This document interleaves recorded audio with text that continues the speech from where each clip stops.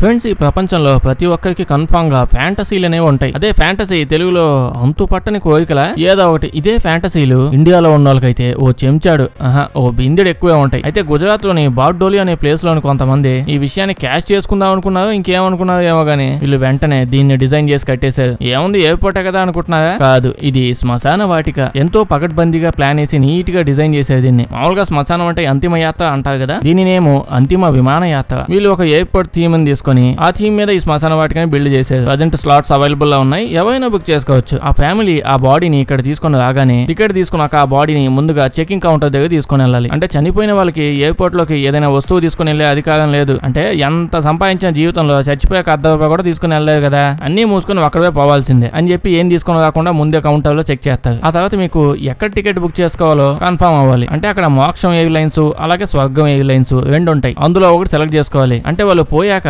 పోయాక ఏముంది పోయాకే వచ్చేది కానీ అంటే పోయిన తర్వాత మోక్షం ప్రాప్తి కావాలంటే హెలికాప్టర్లోకి ఎక్కిస్తారు స్వర్గం ప్రాప్తి కావాలంటే ఏ ప్లేన్లోకి ఎక్కిస్తారు. స్వర్గం అయితే బెటర్ కదా? అంటే అంబా ఓసి మెనక వాళ్ళ మనవాళ్ళు ఉంటారు కదా అక్కడైనా గర్ల్ ఫ్రెండ్ దొరుకుతాయేమో అని చెప్పి. అబ్బాయి ఇబ్బంది ఏం లేదు ఫోర్స్ చేయడం లాంటివి ఏం లేవు ఎవరిష్టం వాళ్ళే తీసుకున్న టికెట్ని బట్టి ఆ బాడీని దాని లోపల పెడతారు. తర్వాత మిగతా వాళ్ళంతా బయటికి వెళ్ళిపోవాలి. అంటే ఆ బాడీతో పాటే పైకి వెళ్ళే ఉద్దేశం లేకపోతే బయటికి వెళ్ళిపోవాలి. తుచ్చు నొక్కగానే బాడీ బర్న్ అవ్వడం స్టార్ట్ అయింది. అప్పుడే కరెక్ట్గా ఇంజన్ కూడా స్టార్ట్ అయింది. అంటే ఇంజన్ స్టార్ట్ అయిన సౌండ్ హెలికాప్టర్ స్టార్ట్ అయినట్టు అలాగే హెలికాప్టర్ పైన తిరుగుతా ఉంటది అది. అంటే పక్కన ఉన్న వాళ్ళకి హ్యాపీగా కళ్ళతో చూసి అంతా ఫీల్ అవుతారు. పాప ఆ బాడీకి కూడా ఫీల్ కావాలి కదా హెలికాప్టర్ నిజంగానే వెళ్తున్నా అని చెప్పి. వీళ్ళు ఈ థీమ్ ఎందుకు చేశారో ఏమో నాకు తెలియదు కానీ ఇదేదో బాగానే ఉన్నట్టుంది. అంటే ఏదైతే నేను చనిపోయారు కదా హ్యాపీగా పంపిస్తే పోలా? అయితే మీరేమంటారు? మీకు ఈ థీమ్ బాగా నచ్చిందా? కావాలంటే మీ ఫ్రెండ్స్కి ఎవరికైనా అడ్వాన్స్ బుకింగ్ చేసేయండి.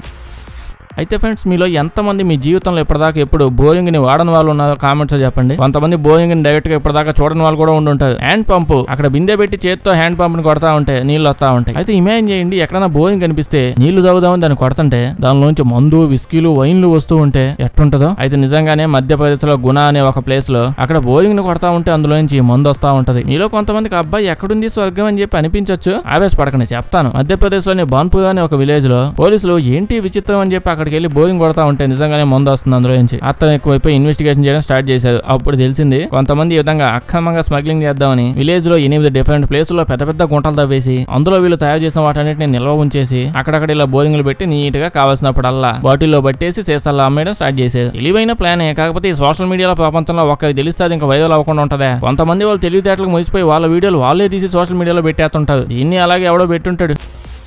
ఫ్రెండ్స్ మీకు ఆశ దోశ అప్పడం వడ. తెలుగు వాళ్ళందరికీ ఫార్ములా ఖచ్చితంగా తెలిసి ఉంటుంది పొద్దున్న నూనెతో వేసిన దోశ మధ్యాహ్నం నూనెతో వేసిన అప్పడాలు ఈవినింగ్ నూనెతో వేసిన వడలు. ఇలా ఆశతోనే జీవితం పాతా ఉంటది. ఏదో ఒక రోజు డాక్టర్ వచ్చి చెప్తాడు నీ పని అయిపోయిందయ్యా. నీ బాడీలో విటమిన్లు ఏవి లేవు. ఈ బస్తా టాబ్లెట్లు వాడని చెప్పి రిసిప్ట్ ఇస్తాడు అయితే ఈ విటమిన్స్ అన్ని ఇండియాలో మనం తినే ఫుడ్లోనే అన్నిట్లో ఉంటాయని తెలుసు కానీ కానీ ఎందులో ఏముంటుందో తెలియదు అందుకే కాంప్రమైజ్ అయిపోయి ఆశ ఫార్ములాతో కంటిన్యూ అయిపోతాం. అయితే విటమిన్స్ అసలు ఏ ఫుడ్లో బాగా ఉంటాయని తెలుసుకోవాలనుకున్నాను? అప్పుడే నేను కుక్కు ఎఫ్ఎం లో ఇండియన్ సూపర్ ఫుడ్స్ అనే ఒక అద్భుతమైన ఇన్ఫర్మేటివ్ ఆడియో బుక్ని మన తెలుగు లాంగ్వేజ్లో విన్నా. సెకండ్ థాట్ లేకుండా ఖచ్చితంగా మీరు కూడా వినాల్సిన ఆడియో బుక్ ఇది. చాలా ఇంట్రెస్టింగ్గా చెప్తారు ఖచ్చితంగా వినండి. ఈ కుక్కు ఎఫ్ఎం అనేది చదవాల్సిన అవసరం లేని ఒక పెద్ద కంటెంట్ లైబ్రరీ లాంటిది. ప్రశాంతంగా ఎక్కడైనా కూర్చొని టెన్ థౌసండ్ అవర్స్కి పైగా ఉన్న ఆడియో బుక్స్ని హ్యాపీగా వినొచ్చు. Entertainment history biography life style అన్ని రకాల ఆడియో బుక్స్ ఉన్నాయి. ఇక్కడ మనకు నచ్చిన లాంగ్వేజ్ పెట్టుకోవచ్చు నచ్చిన జోనర్ సెట్ చేసుకోవచ్చు వినేటప్పుడు ఆడియో స్పీడ్ పెంచుకోవచ్చు. మన కన్వీనియన్స్ కోసం ఎన్నో ఫీచర్స్ ఇచ్చారు. Every week new audio books add చేస్తూనే ఉంటారు. అంటే ఎవ్రీడే న్యూ లెర్నింగ్ డేనే అలాగే యాప్ డౌన్లోడ్ చేశాక మన ప్రోమో కోడ్ అయిన ఏఎల్కే టూ హండ్రెడ్ ఉపయోగిస్తే మీ యొక్క ఇయర్లీ సబ్స్క్రిప్షన్లో మీకు ఫిఫ్టీ పర్సెంట్ ఆఫ్ వస్తుంది. లేదు మీరు ఇంకా ఏమైనా ఎక్స్ట్రా ఎక్స్పెక్ట్ చేస్తున్నాం అనుకోండి మీ ఫీడ్బ్యాక్ లేదా సజెషన్ని డిస్క్రిప్షన్ లేదా కామెంట్స్లో ఒక గూగుల్ ఫామ్ లింక్ పెట్టుంచాను. అందులో ఫిల్ చేసి మీ సజెషన్ ఏంటో చెప్పొచ్చు. ఒక డేకి రూపాయి కంటే తక్కువ ఖర్చుతో ఎన్నో ఆడియో బుక్స్ వినొచ్చు. ఇంతకు మించి ఆలోచించడానికి ఇంకేమీ లేదు. కావాలంటే ముందు డౌన్లోడ్ చేసి నేను చెప్పినవన్నీ ఉన్నాయో లేదో చెక్ చేసుకోవచ్చు. ఉంటేనే సబ్స్క్రిప్షన్ తీసుకోండి. డిస్క్రిప్షన్ ఇంకా కామెంట్స్లో లింక్ ఇంకా కూపన్ కోడ్ పెట్టుంచాను. ఒకసారి డౌన్లోడ్ చేయండి. తర్వాత మీ మనసుకు నచ్చింది వినండి. అయితే ఫ్రెండ్స్ ఇప్పుడు నేను పాకిస్తాన్లో జరిగిన ఒక దారుణమైన ఇన్సిడెంట్ గురించి చెప్పబోతున్నాను. ఈ పాకిస్తాన్లో షేజాది అనే ఇరవై ఐదేళ్ళ ఏజ్ ఉన్న ఒక అమ్మాయి ఉంది. ఈ అమ్మాయి ఎక్కడో పని చేస్తూ ఉంటది. అయితే ఈవిడ ఇంటి దగ్గర నుంచి ఆ పని చేసే ప్లేస్కి వెళ్ళడానికి చాలా బస్సులు ఉంటాయి. కానీ ఈవిడ ఎప్పుడు ఒకే బస్సు కోసం వెయిట్ చేస్తూ ఆ బస్సులోనే ఎక్కెళ్తూ ఉంటది. అయితే ఆ బస్సు డ్రైవర్ ఎప్పుడు అమ్మాయి ఆ బస్సు ఎక్కినా పాత కాలం రొమాంటిక్ సాంగ్స్ ఎప్పుడు పెడుతూ ఉండేవాడు కావాలని. మొదట్లో ఈ షేజాదికి ఈ పాటలు పెట్టినప్పుడల్లా కొంచెం బానే ఉండేది. హ్యాపీగా పాటలు వింటూ ఉండేది. కానీ కొన్ని రోజులకే షేజాదికి అర్థమైంది. ఈ పాటలు నచ్చడం వల్ల ఈ అమ్మాయికి యాభై ఏళ్ళ బస్సు డ్రైవర్ కూడా నచ్చేసాడంట ఆ పాటలు పెట్టడం వల్ల. ఒక రోజు ఈ అమ్మాయి పని చేయడానికి వెళ్ళేటప్పుడు బస్సును ఆపేసి బస్సు డ్రైవర్ని బస్సు నుంచి బయటికి లాగేసి యాభై ఏళ్ళ అంకుల్కి ప్రపోజ్ చేసేసి నెక్స్ట్ రోజు గుడికి వెళ్ళి పెళ్ళి చేసేసుకుంది. ఏ జాంబీ అటాక్లో యుగాంతమో ఏదో ఒకటి వస్తే బాగుండు. ఇవన్నీ చూసి చూసి ఎప్పుడోకప్పుడు హార్ట్ అటాక్ వచ్చి సింగిల్ గానే పోతానేమో అనిపిస్తుంది. అయితే మీరేమంటారు? అనండి ఏదో ఒకటి మీరు కూడా. అయితే ఫ్రెండ్స్ ఈ ప్రపంచంలో చాలా మంది సైంటిస్టులు ఇలాంటి ఒక సక్సెస్ఫుల్ రీసెర్చ్ స్టార్ట్ అయిందని చెప్పి చెప్తున్నారు. అదేంటంటే worlds artificial bomb technology bomb కాదు బాంబ్. ఈ టెక్నాలజీ వల్ల ప్రతి ఏడాది సైంటిస్టులు దాదాపు ముప్పై వేల ఆర్టిఫిషియల్ పిల్లల్ని పుట్టించగలరంట. అంతమంది పిల్లలు కావాలంటే ఇండియాకి వచ్చి తీసుకెళ్ళమండి. ఉన్న జనాభా సరిపోలేదు అన్నట్టు అంతమంది ఎందుకు అంటే దీనిలో ఒక ప్రత్యేకత ఉన్నది. పెద్దగా విన్నచో మీకు అర్థం అవుద్ది ఏం లేదండి తల్లిదండ్రులు ఇప్పుడు వాళ్ళకి నచ్చిన పిల్లల్ని నచ్చినట్టుగా కస్టమైజ్ చేసుకోవచ్చు. మీకు పిల్లాడు కావాలా పిల్ల కావాలా? వాళ్ళు ఏ కళలో కావాలి వాళ్ళ కళ్ళు ఏ కళలో కావాలి వాళ్ళ జుత్తే కాలంలో ఉండాలి. ఎంత పొడుగ్గా ఉండాలి ఎంత పొట్టిగా ఉండాలి. పెద్ద డాక్టర్ కావాలా ఇంజనీర్ కావాలా సిక్స్ ప్యాక్ కావాలా ఎయిట్ ప్యాక్ కావాలా? అంటే అక్కడికి వెళ్ళాక మీకు ఒక ఫామ్ ఇస్తారు. మీకు నచ్చినట్టుగా మీ అభిరుచులు బట్టి టిక్ చేయాలి. లేకపోతే ఆన్లైన్లో ఆర్డర్ పెట్టేశారు అనుకోండి తొమ్మిది నెలల తర్వాత ఇంటికి పార్సిల్ పంపించేస్తారు. ప్రజెంట్ రీసెర్చ్ అన్ని సక్సెస్ఫుల్గా జరుగుతున్నాయని చెప్పి సైంటిస్టులు చెప్తున్నారు. అడ్వాన్స్ బుకింగ్ ఏమైనా చేసుకుంటే కొన్ని సంవత్సరాలు డెలివరీ కూడా చేసేస్తారు. మీకు హలతలు అభిరుచులు ఏమైనా ఉంటే కామెంట్స్లో చెప్పండి. నేను ఊరుకున్న ఈ సైంటిస్టులు యుగాంతం తెచ్చేదాకా ఊరుకునే లేదు. ఫ్యూచర్లో ఇంకా ఇట్లాంటివి ఏమైనా చూడాల్సి వస్తుందో దీని మీద మీ ఒపీనియన్ ఏంటో కామెంట్స్లో చెప్పండి.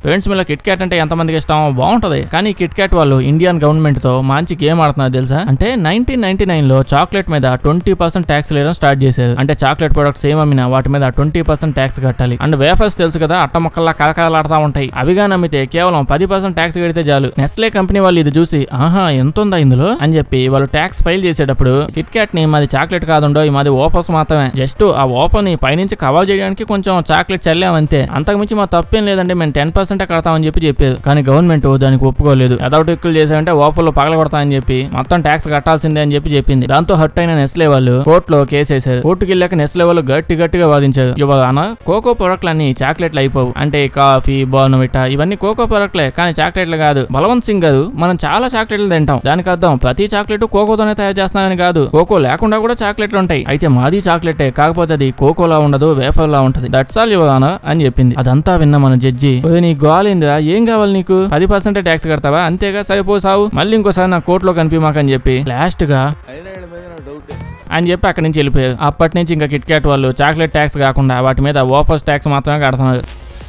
ఫ్రెండ్స్ ఈ ప్రపంచంలోనే అత్యంత అందమైన అమ్మాయి ఎవరు అందమైన అబ్బాయి ఎవరు అని అడిగితే కామెంట్ బాక్స్ మొత్తం ఏ ఏవో పేర్లతో నింపేస్తారు. కానీ ఈ ప్రపంచంలోనే బిగ్గెస్ట్ ఫార్మర్ ఎవరు అని అడిగితే అతను ఎవరో కాదు మన బిల్ గేట్స్ ఏంటి సైడ్ బిజినెస్గా పంటలు పండిస్తున్నారు ఏంటి అనుకుంటున్నారా? కాదు. సైడ్ బిజినెస్ చేసే వాళ్ళ దగ్గర మూడు లక్షల ఎకరాల పొలం ఉండదు కదా? అంత ప్లేస్ని అంతరిక్షం నుంచి కూడా చూడొచ్చంట. అంటే మూడు లక్షల ఎకరాలు కదా ఆ మాత్రం ఉంటది. ఇతను మూడు లక్షల ఎకరాల పొలంలో దాదాపు మొత్తంగా బంగాళదుంపలే పండిస్తా ఉంటాడంట. బంగాళదుంపలు అంటే బాగా ఇష్టంగా ఉన్న వాళ్ళని చూశాను కానీ ఈయనేందో మరీ కసిగా ఉన్నాడు వాటి మీద. ఈ పొలంలో ఎంత బంగాళదుంపలు పండిస్తానంటే ఈ ప్రపంచంలో ఉన్న మెక్డొనాల్డ్స్ మొత్తానికి బిల్గేట్స్ పంపించే బంగాళదుంపల మీద ఆధారపడి ఉంది మెక్డొనాల్డ్స్లో ఫ్రెంచ్ ఫ్రైస్ తింటున్నానంటే నేను బిల్గేట్స్ గారి ఒక ప్రొడక్ట్ తింటానంటే ఫ్రెండ్స్ యూపీలో గోరఖ్పూర్ అనే ఒక ప్లేస్ ఉంది. అక్కడ ఎంతో మంది జనాలు తన రోజులో కొంత టైం ని ఎలాగైనా సేవ్ చేసి ఆ సేవ్ చేసిన టైం తో ఆ సిటీ మొత్తం మీద ఉన్న కాలువలో క్లీన్ చేసే పనిలో ఉన్నారు. అబ్బా ఇంత డిసిప్లిన్ మన దేశంలో ఉన్న వాళ్ళందరికీ ఉంటే బాగుంది అనిపిస్తుందా అవసరం లేదు. మన దేశంలో ఉన్నంత వరకు వీళ్ళు జాలు కొత్త వాళ్ళొద్దు అంటే వీళ్ళంతా కావాలని ఆ కాలువని క్లీన్ చేయట్లా. విషయం ఏంటంటే వీళ్ళంతా మంచి డబ్బు డబ్బు డబ్బు సంపాదించడానికి చేస్తున్నారు. ఈ గోరఖ్పూర్ అనే ప్లేస్ మొత్తం మీద ఎక్కడ చూసినా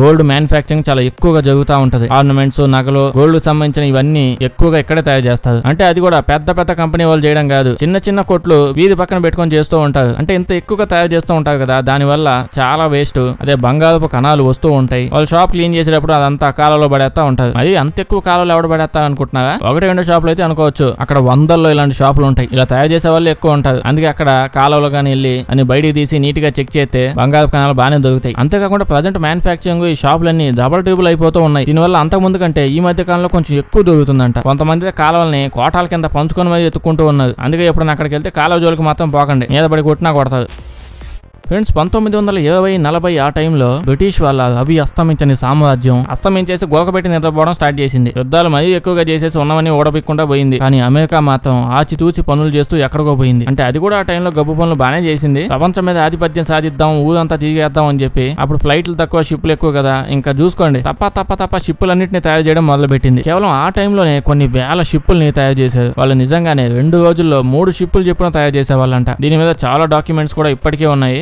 ఆలోచించండి రెండు రోజుల్లో మూడు షిప్పులు అంట మనిషి కాదు నిజంగానే దేవుడు వచ్చిన రెండు రోజుల్లో మూడు షిప్పులు ఎలా తయారు చేస్తారంటే అంటే వాళ్ళు షిప్పుల్ని ముందుగానే ముక్కల ముక్కలుగా దాదాపు ఐదు వందల ముక్కలుగా చేసి పెట్టుకునే వాళ్ళు ఆ ముక్కలు తీసుకొచ్చి రెండు రోజుల్లో మూడు షిప్పులు చొప్పున అతికించుకుంటా పోయేది. దానికోసం వాళ్ళు మొక్కలన్నింటినీ కలిపి వెల్డింగ్ చేసుకుంటా పోయేది. మంచి వెల్డింగ్ ఏమైనా చేసి ఉండాల్సింది. పుచ్చు వెల్డింగ్ ఏదో వాడినట్టున్నారు. దీని వల్ల వాళ్ళకి వేల కొద్దీ ఉన్న షిప్పులు ఈ విధంగా ఎక్కడ పెడితే అక్కడ సముద్రం మధ్యలోకి వెళ్ళిపోయాక ముక్కలు ముక్కలు అయిపోతా ఉన్నాయి. మరీ పుచ్చు వెల్డింగ్ చేసినట్టున్నది వీళ్ళ దగ్గర ప్రజెంట్ వేల షిప్పులు ఉన్న ఆ పుచ్చు వెల్డింగ్ వల్ల ప్రజెంట్ అసలు ఏమి పనిచేయాలి చేయట్లేదంట అంట సరిగ్గా. మొన్నటి దాకా వీళ్ళు ఈ న్యూస్ని బయటకు రానిలేదు అసలు. కానీ టూ థౌసండ్ ఎయిటీన్లో దీనికి సంబంధించిన డాక్యుమెంట్స్ న్యూస్ అంతా బయటకు వచ్చింది. వాళ్ళ వేల షిప్పుల పరిస్థితి ఇలా ఉందని. ఈ షిప్పులు వీళ్ళు బయటకు పంపించడానికి బాగా ఎక్కువ ఆలోచిస్తున్నారు. అంటే యుద్ధానికి సంబంధించి పెద్ద పెద్ద షిప్పులు తయారు చేసి పెట్టుకున్నారు కదా వాటిని బయటకు పంపించడానికి కూడా ఆలోచిస్తున్నారు. ఎందుకంటే చిన్న అలలు వచ్చినా లాస్ట్కి చిన్న గాలి వచ్చినా సరే అది మొక్కలు అయిపోవడం క్రాకులు అయిపోవడం ఇలా దారుణంగా అయిపోయి ఒకటి రెండు అయితే వదిలేసే వాళ్ళు వేల షిప్పులు కదా. అందుకే పాపం గడ్డు పరిస్థితుల్లో ఉన్నారు ఇప్పుడు.